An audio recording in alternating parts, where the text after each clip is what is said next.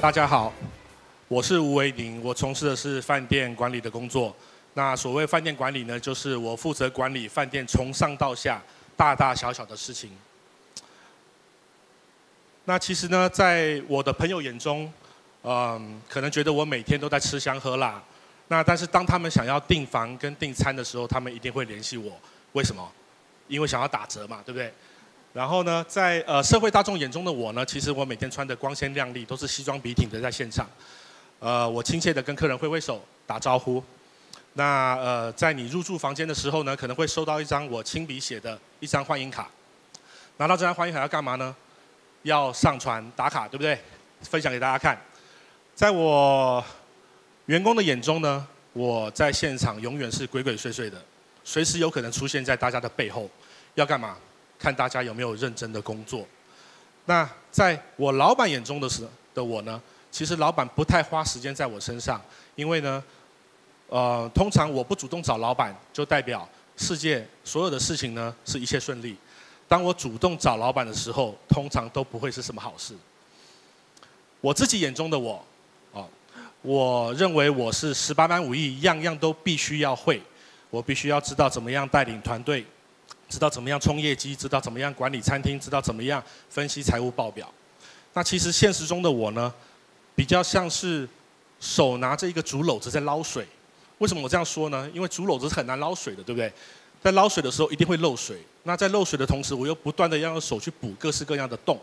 所以呢，其实我在现场永远是呈现比较狼狈的一个状态。那我在工作的时候，其实最怕遇到的一个情况。就是客人走到我们的柜台，拍了桌子以后，大喊一声：“叫你们总经理出来！”啊，这个时候呢，我就非常害怕了。但是，呃，这种情况发生的频率已经是越来越低了，因为我们现场的值班主管都已经是身经百战，知道处理各式各样大大小小的突发状况。那呃，不管是你有多么有经验的一个主管啊，那人生嘛，总是会遇到一些你没有办法事先去预防的一些状况。那总是会有一些 surprise。照片中这个圆形的物体，它有一个中文名称叫做天球。在九一一美国九一一事件发生之前，它坐落于两栋双子星大楼的一楼广场的正中央。这里曾经是我每天中午用餐的地方。那当时呢，我是在投资银行业服务，我工作的地点就在右左边这一栋大楼的后方的大楼的二十楼。那九一一当天我是怎么逃出来的？不是我今天要分享的内容。那大家看，现在这个天球已经是这个副模样了。如果有去纽约的话，我曾经工作的大楼在二十二年之后，它没有重建，现场就呈现的是一个公园的一个形态。那当天呢，其实我嗯发生之后，事件发生之后，我搭乘着呃呃火车辗转又回到了 New Jersey。那为什么回到 New Jersey？因为我住在 New Jersey 的河的对岸。那回去之后，我昏睡了两天。那这两天呢？两天之后，我醒来之后，我接到了一通电话，是来自于我的公司。我的公司告诉我说，明天早上请到一个集合店、集合地点去报道。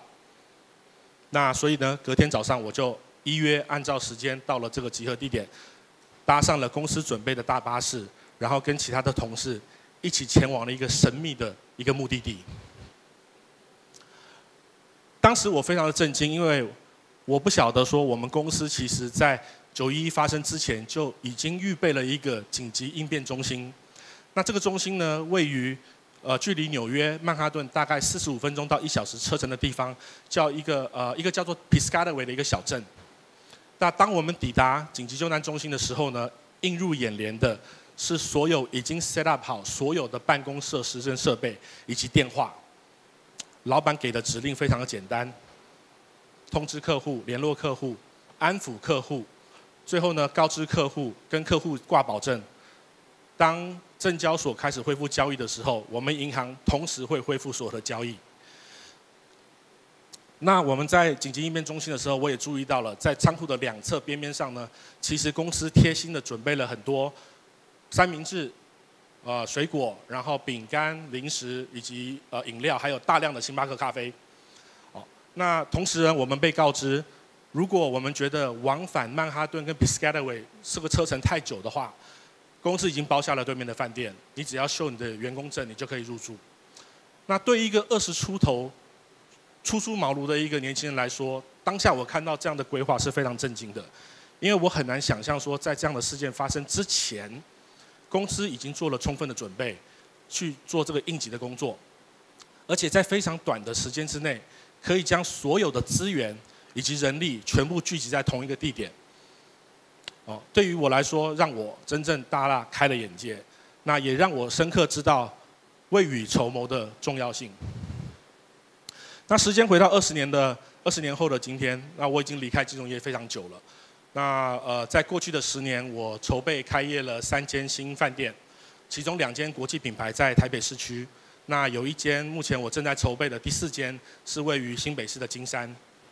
那筹备新饭店，它是一个非常非常冗长的一个过程。呃，首先呢，你必须要有钱，哦，不是我要有钱，是业主必须要有钱。业主就是出资盖饭店的人。那业主出钱，业主都会有一个梦想。这个梦想是什么呢？这个梦想就是在一块非常漂亮的一个土地上面，盖一座非常高大上的饭店。那业主也会有想法，希望这个饭店未来营运的时候，可能会挂什么样的品牌。有可能是业主自己的自有品牌，也有可能是加盟国际品牌，或者是委托国际品牌全权来做经营跟管理。那依据不同的规划，这个建造的部分呢，就有可能会有不同的标准跟要求。我的工作通常是从第二段筹备这部分开始，在筹备的工作开始的时候呢，我必须要在现场去确认所有业主所建造的。内容是不是符合我们的品牌的要求跟规范？那我还有其他工作，包含我必须要组织未来的营运团队。那我们必须要去规划以及采购所有未来营业所需要的所有用品，可能包含一些客房看到的电视机、床床垫、床罩、床单、枕头，呃，客房的其他的沐浴乳等等的，包含餐厅的锅碗瓢盆、餐具、杯具等等。那在筹备的这个过程当中呢，我也必须要去规划一个时间做大型的招聘，招聘之后要做员工的培训，最后如果一切都顺利的时候呢，我们就可以顺利的开业来做营运。当我们在筹备开业的这个过程当中，其实我们有一项工作很重要的，就是对于有可能发生的一些状况，我们必须做好预防的一些准备。那这个准备呢，通常分为两部分。一个部分呢是所谓我们比较像是我们预防性的一个工作，还有另外一部分呢是应急的紧急应变的一个工作。在预防性的工作里面呢，可能包含譬如说像是呃清洁卫生或者是食品安全这样的工作。那我们会以国际标准 HACCP 为基准，然后套用很多国际品牌的其他的一些要求，再加上集合的一些制度跟规范。那我们做了这么多的目的是什么呢？是希望说，假设很不幸的真正发生了食品安全的问题的时候，我们能够怎么样避免的，让这个状况影响到客人，甚至影响到饭店的营运。那在呃应急的部分呢，其实有大家比较熟悉的，包含呃消防的逃生演练啦。那其中其中还有一些比较特别的演练，是有一些国家性的，譬如说。呃，我就不说哪一些国家了。比如说，有一些国有一些地方呢，会要要求要做一些空袭警报的演练。哦，有一些地方可能要做一些枪击案发生的演练。哦，那台湾这个是不是有我们自己的地方特色呢？也有。我们有什么呢？我们有地震的演练。哦，我们也有可能的战争的演练。哦，不管不管什么样的准备跟演练呢，其实在我们心中，其实所有的准备，我们都不曾想到说，一个小小的病毒。它能够扩散的如此的迅速，然后 KO 全世界，大家就是当下完全不知道该怎么做，所以在嗯疫情爆发的当下呢，也就是二零二零年的年初，我们看到我们的住房率从原本的百分之八十掉到七十，掉到六十，掉到四十，掉到三十，到最后不到百分之十。那影响的其实也不仅仅只是饭店行业，也包含所有的其他旅游行业，包含我们。呃，比较知道，比如游轮有包含一些乐园，然后也包含了航空业，那还有跟大家比较更相关的所有大大小小的餐饮行业。那台湾呢，是在疫情的时候发生是什么时候呢？是在二零二零年的一月二十一号，那是一个星期二的夜晚，我看着新闻报道了第一个 case，当下我想到就是我要赶快降低我的人力，因为马上生意就会没有了。那我怎么样降低人力呢？刚好前一个月是什么？是圣诞节跟跨年，然后还有非常多的呃大大小小的呃这个尾牙跟宴会，所以我们有非常多的同仁在前面这段时间累积了非常多的加班，所以第一时间我就指示大家赶快去补休。那其实一开始的时候大家蛮开心的，哦可以补休了，大家就放假去了。但是过了几天之后，状况好像不太妙，因为我们看着疫情似乎是越来越严重。那我们重新检视了现场之后呢，我们就发现说，我们必须要控制我们的营业规模，所以包含我们有一些营业厅面、餐厅、酒吧就必须要做关闭。那就算没有关闭的部分呢，我们也必须要缩短营业的时间。好，那我们做了这么多的工作，目的是什么呢？目的就是节流，因为我们讲开源节流嘛，这这一部分都属于节流的部分。那开源在哪里呢？开源在这里。哦，那。在开源的时候，我们就要想，我们必须要做一些比较特别的一些促销方案。那目的是为了要在一滩死水里面激起一些彩色的浪花。于是，我们推出了第一个活动，就是姓名去对饭店的名称，只要你中一个字，我们就减。我记得是一千元嘛。呃，于是这个活动推出的时候，很多媒体也非常的支持，帮我们转发了这些新闻。那呃，在市场上，我们这个活动受到了非常大的回响。那之后呢，也发现说，呃，有一些呃寿司餐厅哦，做了一类似的活动。那结果有一些呃消费者可能为了要省了几百块钱，结果拿了身份证去改名，有没有改成什么鲑鱼、尾鱼、秋刀鱼、乌锅鱼，还有什么鱼？就是大家就很多鱼，韩呃韩先生的鱼可能也改了，我不知道。那不晓得他能不能。享受这个折扣方案了，那当时是不太确定的。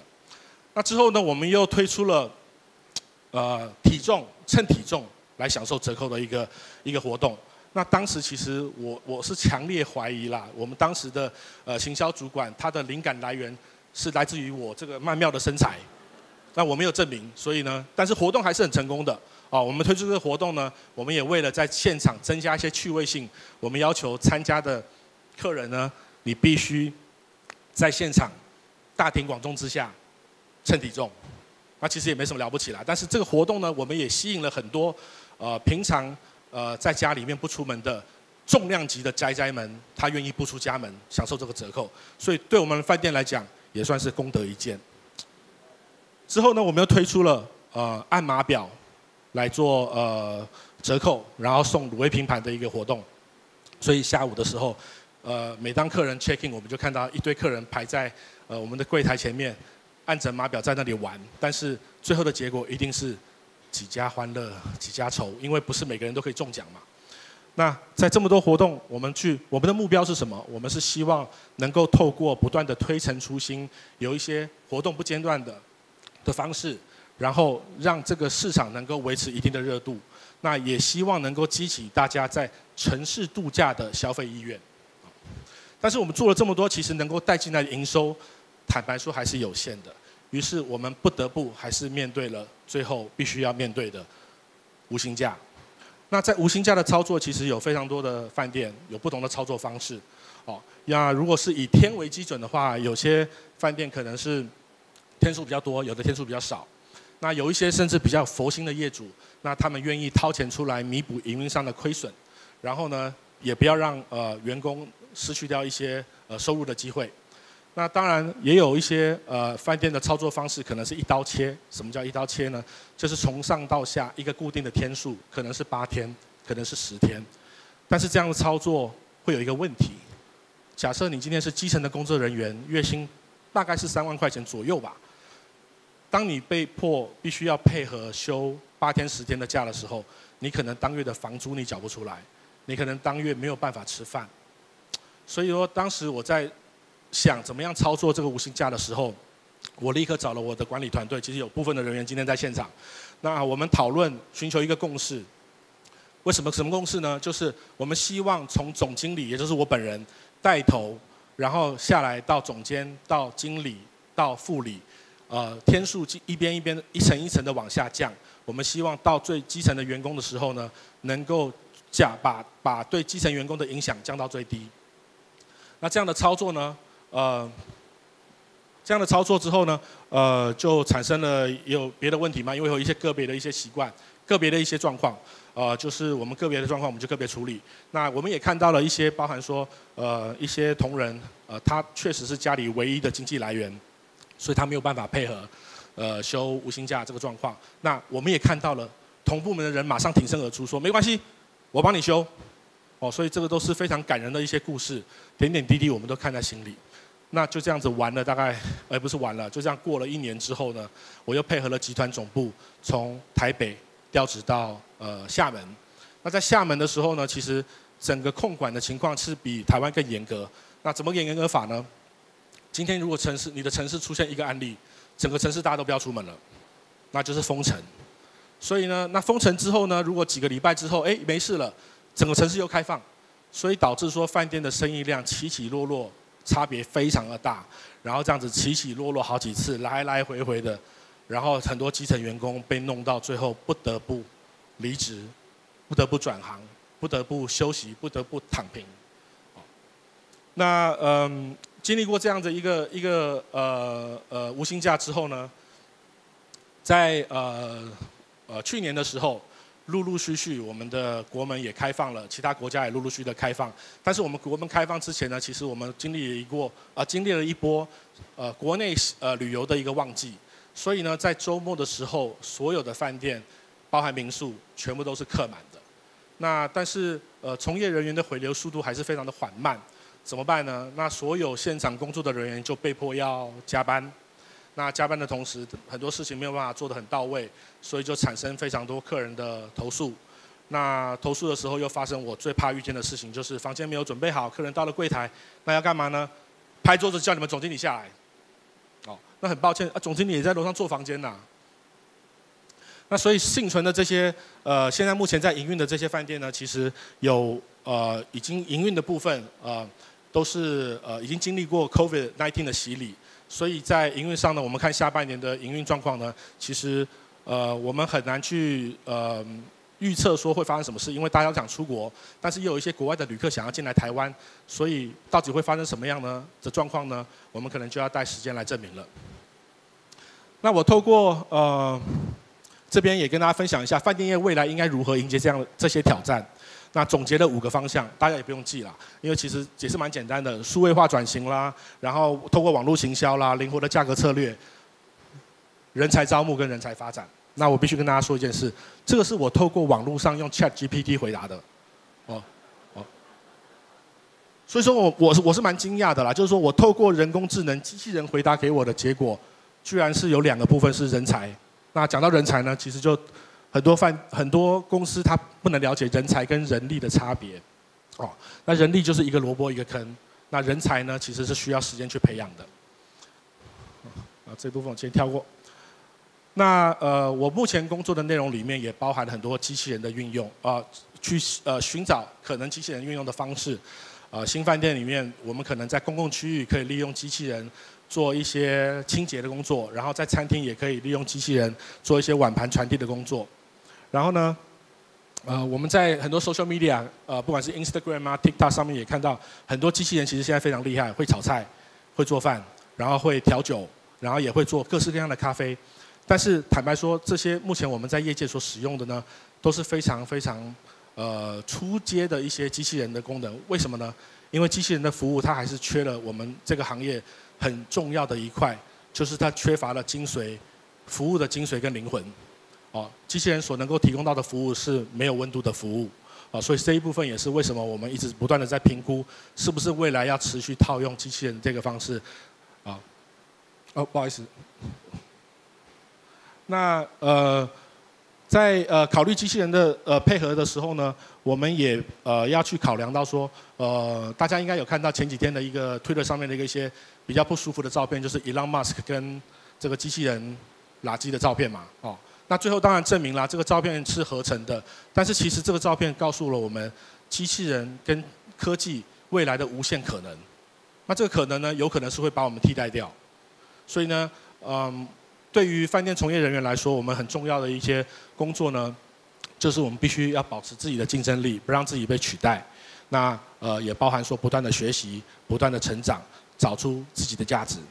那以上是我分享的十八分钟给各位。那希望大家这十八分钟能够对饭店也也能够有更深一层的了解。谢谢大家的聆听，谢谢。